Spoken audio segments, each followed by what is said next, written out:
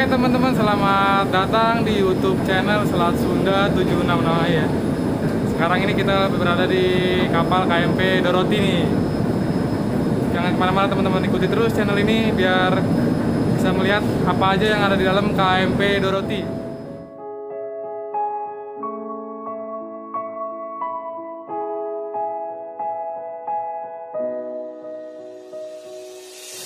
You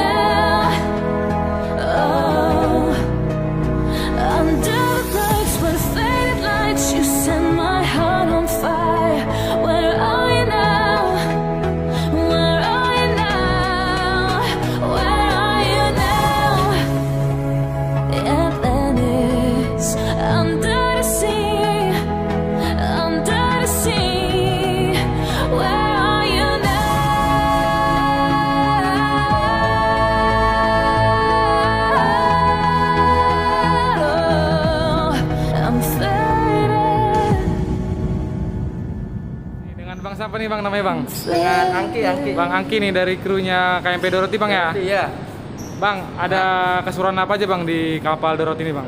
ya Yang nggak dimiliki kapal lain ada nggak Bang? apa Yang nggak dimiliki oleh kapal lain ada nggak Bang? Di KMP Doroti Bang? apa ya rata-rata sih kalau di Selat Sunda ya gini-gini aja Ada ya, ada Iya. semua ya. Yang Iya. paling favoritnya apa nih Bang? Biar kita review nanti Bang. favoritnya ya apa ya capek kerja itu aja lah Oh, enggak, fasilitas yang ada di KMP Doroti Ya. yang paling favorit lah di kapal Favorit. ini. kapal ini apa ya Atau lesehannya atau gimana? ya ini lah sini-sini kayak gini Oke, saya cek ya nanti ya. ayo Pak siapa Pak namanya Pak? Yanto Pak Yanto dari krunya KMP Doroti Pak ya. hmm, dari krunya KMP Dorati. Di KMP Doroti ini fasilitasnya ada yang menarik nggak Pak? Selain dari kapal-kapal yang udah di Merak Bakau ini, Hmm, maksudnya jenisnya, fasilitasnya nah, fasilitasnya ya samping VIP, ya. ekonomi juga ada. Ekonomi ada ya. Hmm, musola, tempat menyusui, maksud, hmm, direktur room, Hmm, kesehatan, Kesehatan, musola, musola, ya. Muso- musola kita ada dua. Kita musola ada dua, yang satu di tempat VIP, dia kan. Yang satu umum di atas. Hmm, di atas juga beda-beda kok tempatnya. Ada yang laki sendiri, ada yang Hmm, iya, perempuan iya, iya, sendiri boleh, gitu. Ya. Oke, nanti kita cek Pak ya. Makasih Pak. Ya, boleh, boleh. Makasih Mas. Sama-sama.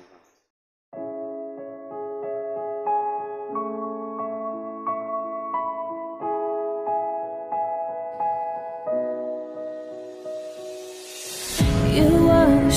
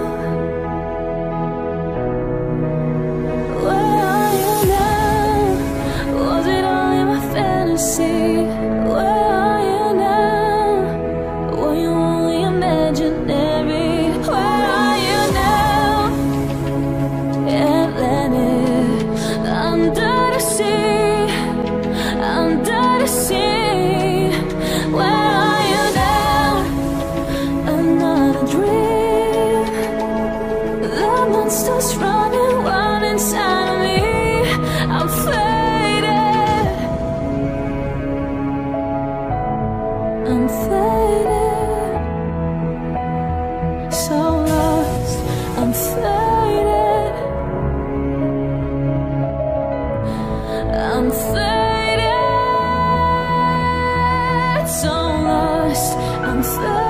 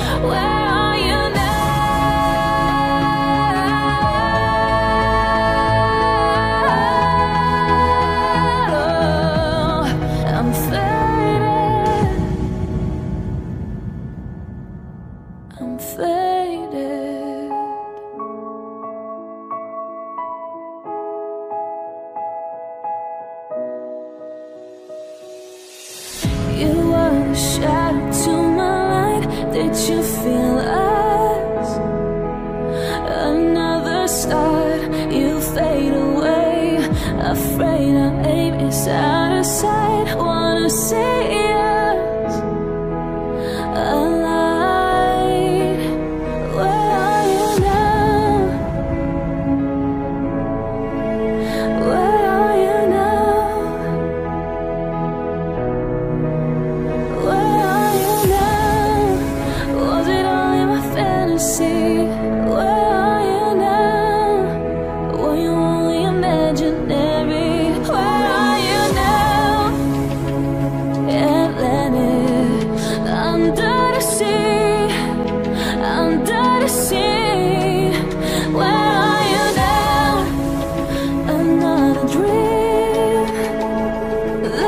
monster's running wild inside of me.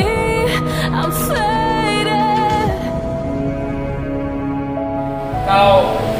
karung dua karung beras digantung di sini ketarik ya apalagi ma dan ibu. Nah makanya jangan salah pakai ini hanya peragaan. Mudah-mudahan saya mah wajib memperagakan. Ibu bapak tidak wajib memakai. Ya kalau tidak darurat kamu ya. Nah, makanya jangan salah kebanyakan orang panik dimasukkannya ada yang ke kaki. Kalau kaki ini nanti ketariknya berat sebelah. Bukan kepala nanti yang nongol pantatnya ketarik ke atas. Nah itu salah kaprah. Tuh ada gambar. Gambar itu dari dulu sampai sekarang di kapal mana pun. Setelah begini jangan lupa ini cantolkan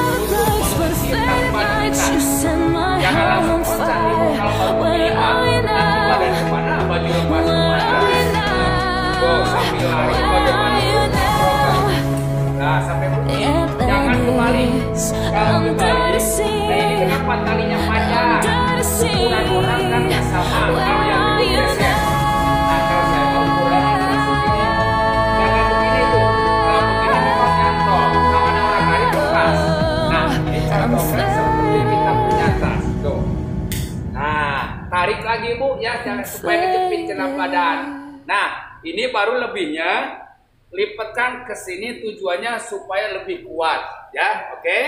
Nah ini yang kedua. Penumpang setelah pakai seperti ini jangan egois. Jangan ibu pengen menyelamatkan tanpa suruhan orang kapal. Kenapa nggak boleh loncat duluan? Ya siapa tahu kapal masih bisa diselamatkan orang masih ngumpul di kapal bapak nanti udah di laut sendirian. Atau saya harus nolong loncat nolong orang jatuh ya. Makanya nanti ada instruksi kapan kita harus terjun ke laut enam kali panjang satu kali pendek pertanda kapal segera kosongkan tidak ada yang boleh tinggal di kapal yang terakhir menyelamatkan dari kapal adalah pimpinan saya Bapak Nakoda jadi Setelah itu yang berani terjun, terjun silahkan. Berani loncat, loncat. Tidak berani harus terjun juga bu. Jangan tinggal di kapal ya. Uh-uh. Itu bisa menolong kita. Jadi pakai apa? Kejadian malam hari pergunakan lampu. Ini lampu kalau malam.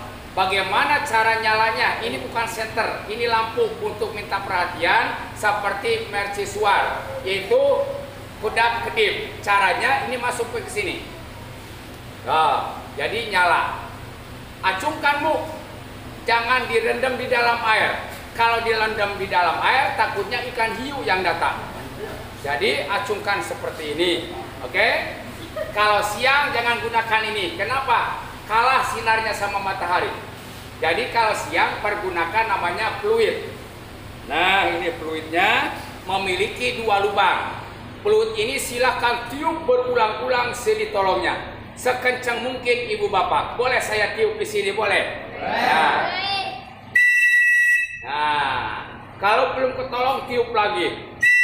Udah ketolong jangan ditiup lagi. Kenapa berisik? Nanti diceburin lagi sama tim SAR. Paham? Segitu.